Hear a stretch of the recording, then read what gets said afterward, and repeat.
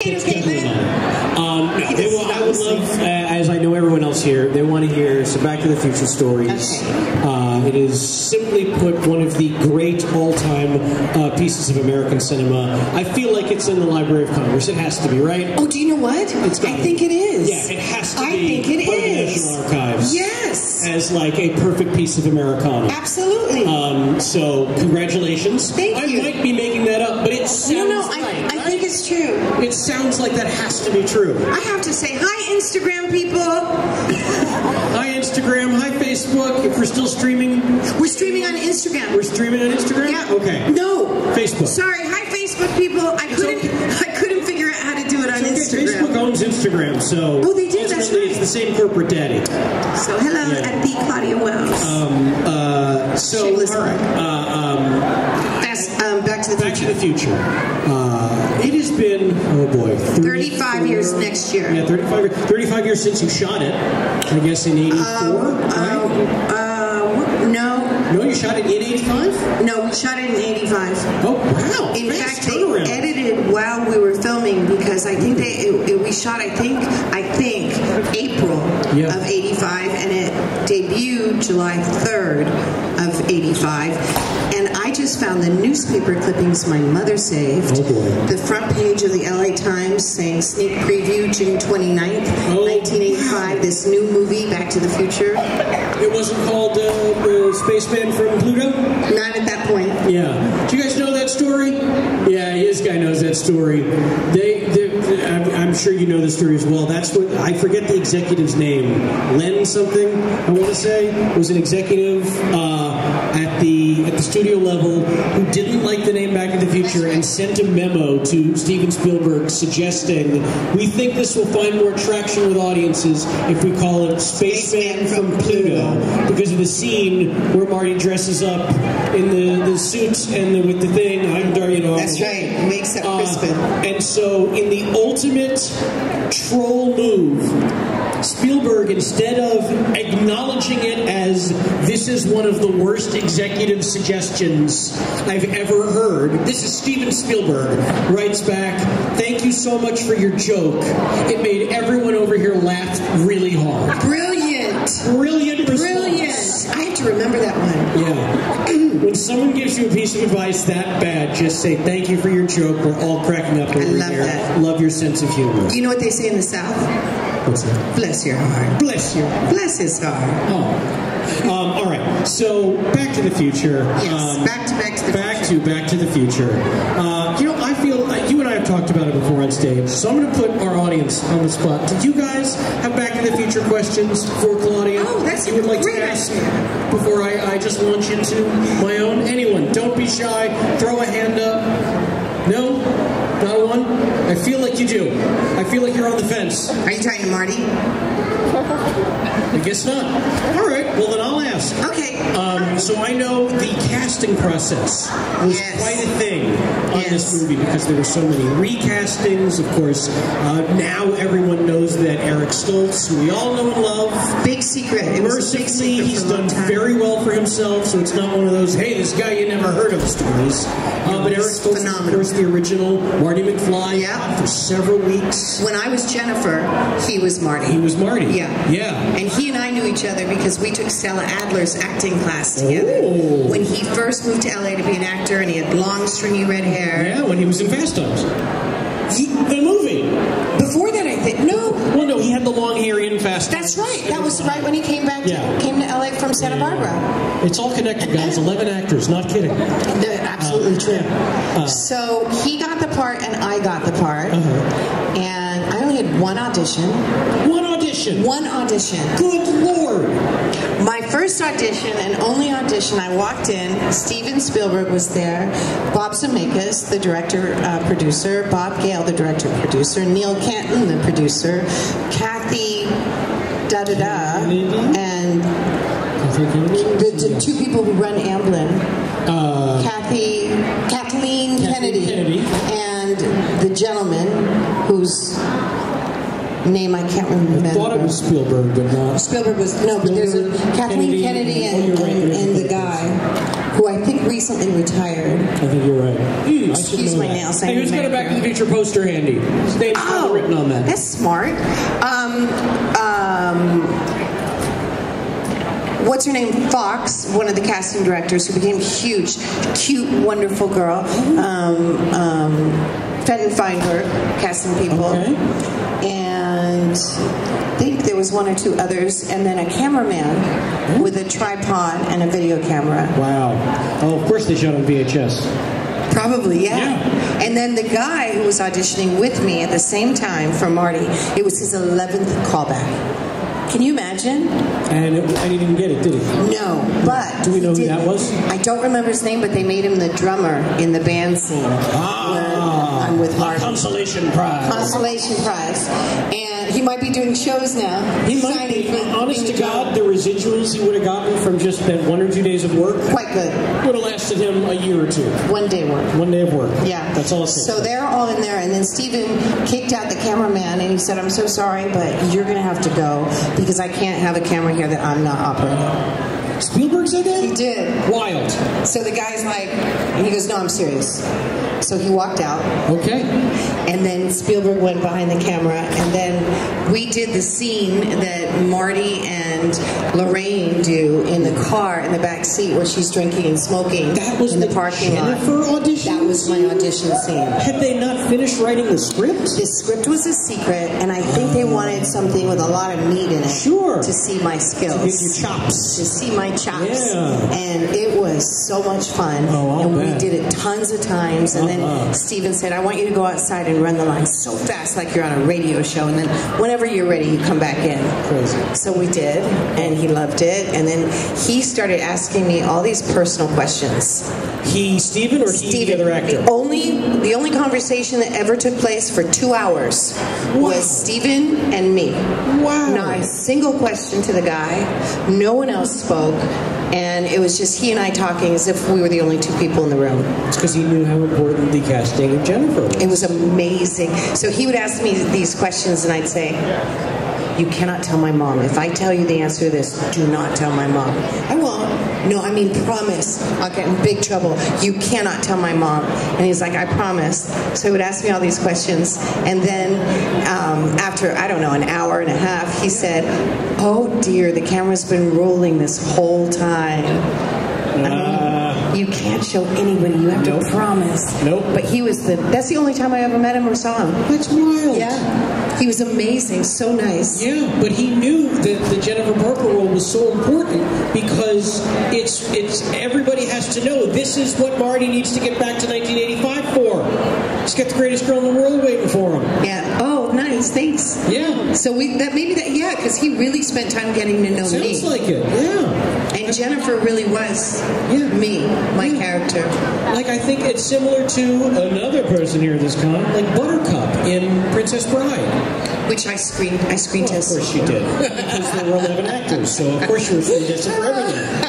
Um, but that's it's so important to cast these these uh, female roles in these iconic 80s movies because it's like, hey, this needs to be the dream girl.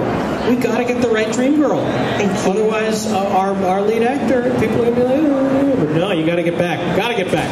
Back girl. to the future. Got to get back for Jennifer Parker, the Thank great Claudia you. Wells. Um, so, 1985 movie comes out, uh, and then you got to revisit the role of Jennifer Parker. I did. Uh, some years later, Like a couple times now, by my 30 count, years three later. times for several of the Back to the Future video games, Yes, I did. lending your wonderful voice talents. Thank you. How did that come about? I was at the 25th, okay, so it was 25 years. I was at the 25th anniversary party Enchantment Under the Sea Dance for Back to the Future. Oh boy, Which was so much fun. Yeah. In fact, that's where I met Mayor Goldie Wilson for the very first time.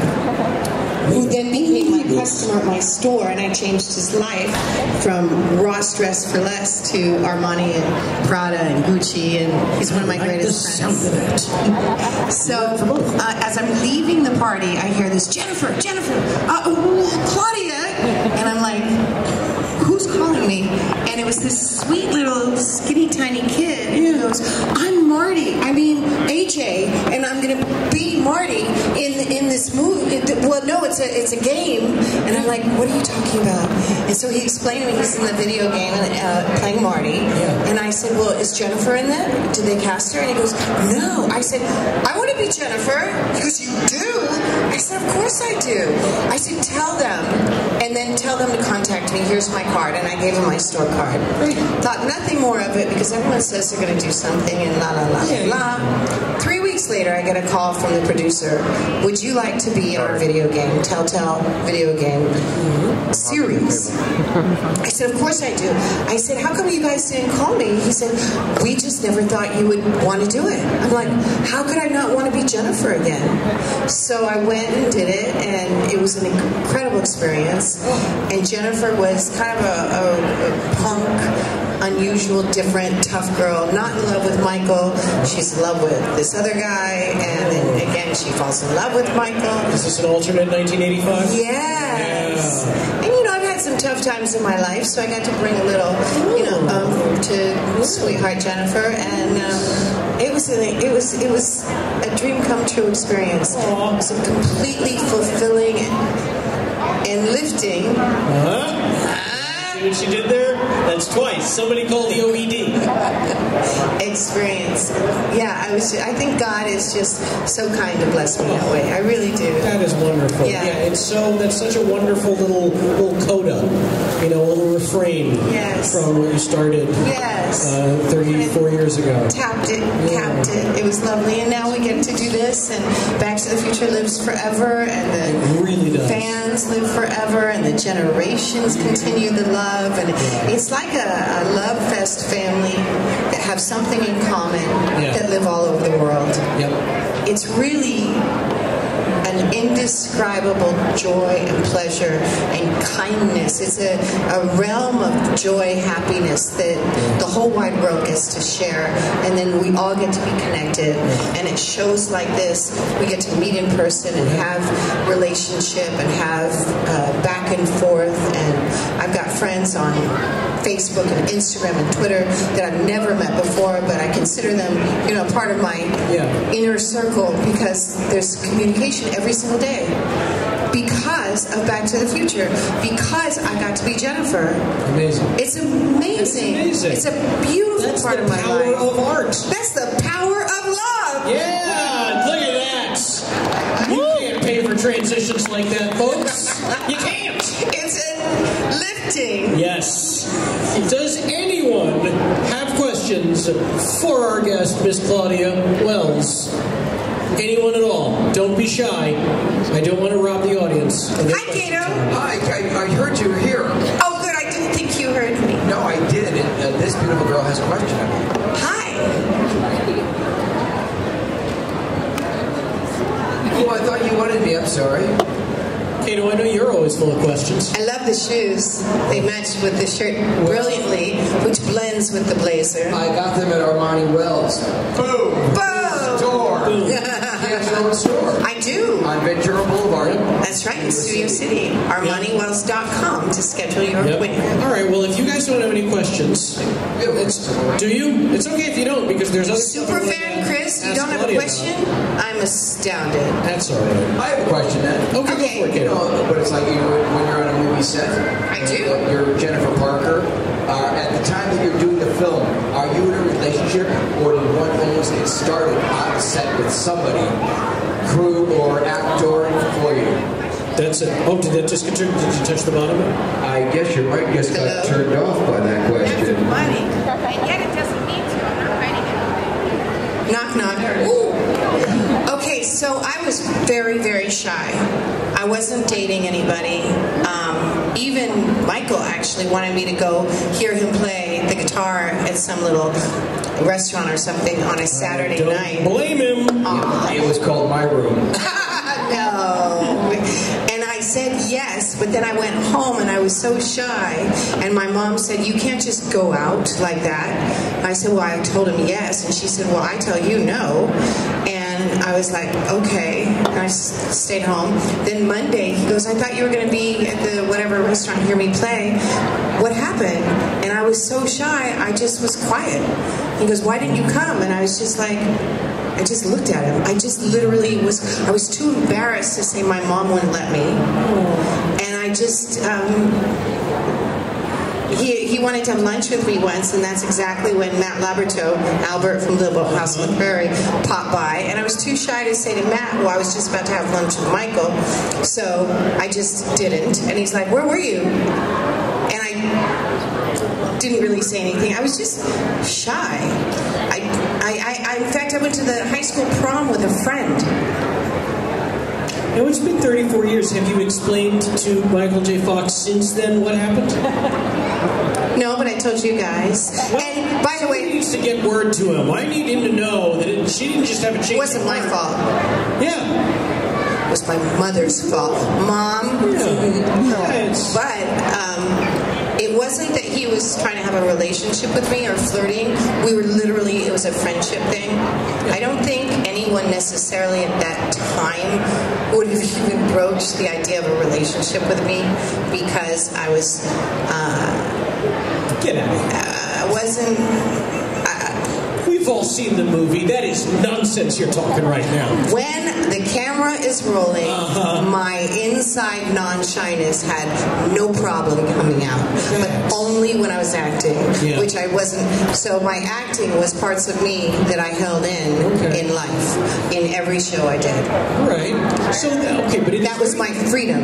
Fair enough. But it's very clear to me now, and I've had the great pleasure of knowing you the last several years, you are quite the opposite of a shy introvert. Very And it seems like, I mean, for me, it seems hard to imagine you being any other way. So when in your life did you become more outgoing? You are a very good questioner. Thank you. You're welcome. I went through so many transitions in my life. Um, when my mother was sick, and during those years, I went through a lot of questioning times. Then I ended up living in other places and just being like a normal person. Like I taught myself how to watch a movie as an audience member, not as a person wondering what camera angles and how the acting was. And I, um, Um, I spent years never telling anyone I was, I was an actress, even at my store, even people I did date. Oh, I had a guy come into my store that I had been dating, and he said, "You never told me you were an actress. You were on television last night." I said, "You never asked." I was Claudia Wells, the store owner. Sure. So in that transition, I found my voice. I found who I am, what I like, what I believe, whose I am, and I became me in life, not just when the camera's rolling. There it is. That's and I'm so grateful for that. Yeah. And I'm, uh, I, I learned also that I'm a very strong person with a, an excellent business mind, and that uh, you know I'm an only parent to my son. So you know the roughness of life sharpens the edges. It's like uh, iron sharpens iron, and even um, when you put metal in the furnace at the highest heat, Yeah. the the impurities come up to the top. If you scoop them out, then you've got pure gold. So my life has had a lot of furnacing, hello. and I have become more of who I was meant to be through all of those Sure. experiences. That's wonderful. It's always nice to know uh, that the, the hard experiences really do make us Who we are. stronger Yes, people in absolutely. the end. You know, when you squeeze something, the Yeah. inside comes out. You squeeze a grape, you find out what's inside. When life squeezes you tight and things are very difficult, who you actually are shows and becomes I think that's a good uh, uh, uh, lesson to learn because, especially in this world, in the convention world, so many people are fans. And, you know, oftentimes you and I meet very shy, very introverted people. You know, they're uh, too embarrassed to ask questions, too embarrassed to speak up, say what they want to say at a table or whatever. And it's nice to see someone say, oh no, I was too embarrassed. I was too shy. I couldn't do it. And yet here you are today, one of the most outgoing, pleasant, delightful people. Thank you. Um, so it is. Uh, it is never uh, a bad thing to grow and change. Uh, one last question for you to Oh, wrap up. We have a question. We have a real question. another question Okay, yes, great. Thank you, Cato. He wanted to be squeezed like a grape. no, what is your question? So, um, Claudia has a store, right? Armani Wells. Armani Wells. Right. So, Claudia, I have to ask, when did you open up that store and does it have an anniversary coming up? That was a loaded question. He's been in my store. Um, I opened it December 19th, 1991. On December 19th, 2019, I'll be 28 years old in the same location. Oh, wow. Yes. That's a pretty good anniversary. Thank you for asking. December 19th, that's the uh, same day Titanic opened in 1997. Wow. Yeah, it's weird that I know that, folks. Cried three times. Three times! I wanted to say something about what I was saying before Yes. because it's something I live on and I stand on, and I learned it through a lot of, of difficult experiences. But there's a verse that's Romans 8:28, and it's called "All things work together for good for those who love the Lord and are called according to His purposes." So when I think of that, I realize so any experience at all works together for good, and that's how I've painted difficulties in my life. It all was necessary and works together for good. That is a and very good outlook. Yeah. So each each one has changed me in such a way that I've gotten a different kind of a strength or a different kind of an empathy. Oh.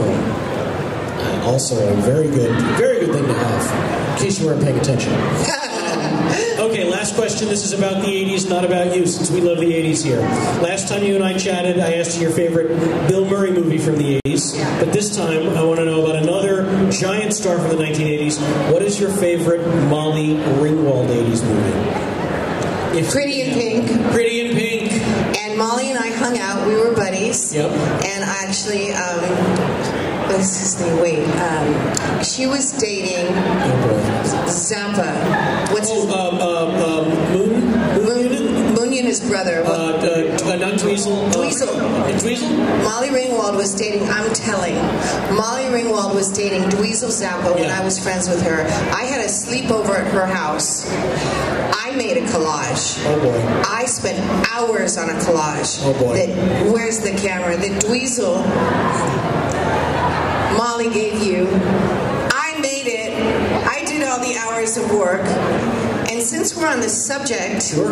not that I haven't completely forgiven everything, I did loan her some clothes that I never got back. Oh my God. This is breaking news.